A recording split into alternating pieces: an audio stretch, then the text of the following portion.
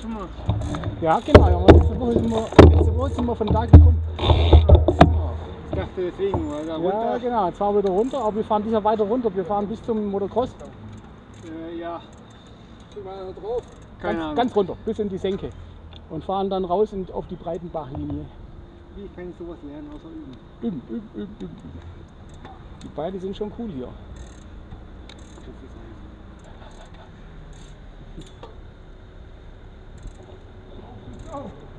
Jetzt wird es aber Zeit hier. Ja, stell dich mal ein hier auf die Schleife. Komm. Ja, ja alles aus Plastik. Jetzt fahr zu. Auf geht's.